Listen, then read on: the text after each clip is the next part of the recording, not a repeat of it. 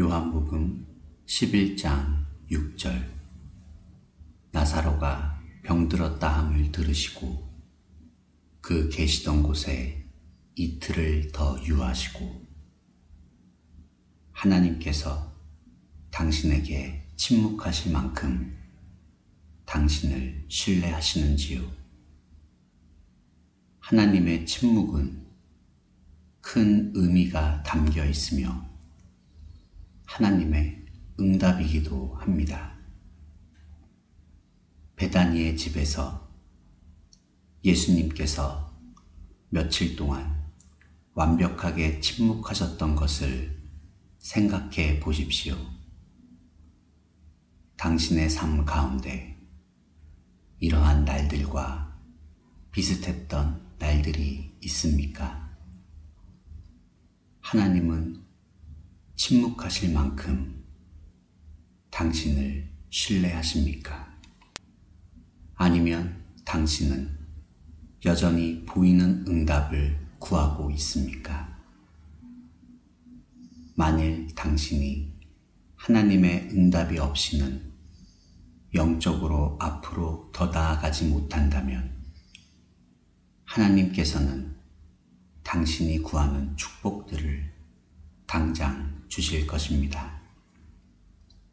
그러나 당장 응답하지 않으시는 하나님의 침묵은 당신으로 하여금 주님에 대해 더 놀라운 깨달음을 갖게 하시려는 신호입니다.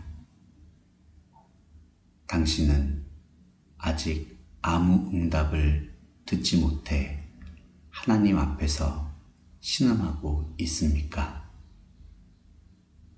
그러나 그 완벽한 침묵은 하나님께서 절망이 아닌 기쁨 속에서 가장 친밀한 방법으로 당신을 신뢰하고 있다는 것을 의미합니다.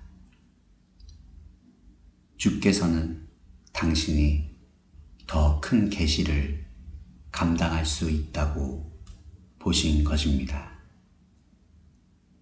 만일 하나님께서 당신에게 침묵하시면 주님을 찬양하십시오. 주님께서는 주의 위대한 목적을 향하여 당신이 달릴 수 있도록 이끄시는 것입니다. 언제 응답이 나타날 것인가 하는 것은 하나님의 주권에 속한 것입니다. 시간은 하나님께는 아무것도 아닙니다. 한동안 당신은 이렇게 말하였습니다. 떡을 달라고 구했더니 돌을 주셨어. 그러나 그렇지 않습니다. 어느 날 당신은 주님께서 생명의 떡을 주셨음을 발견하게 됩니다.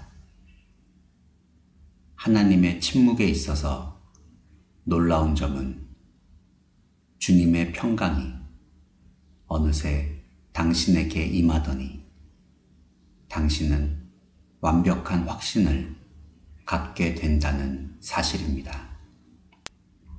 그리고 주께서 내 기도를 들으셨음을 알게 되었습니다. 라고 말합니다. 하나님의 침묵은 그가 당신의 기도를 들으셨다는 증거입니다. 당신이 기도하는 대로 하나님께서 당신을 축복할 것이라고 생각하는 한 주님은 그렇게 축복하실 것입니다. 그러나 절대로 침묵의 은혜를 주시지는 않을 것입니다.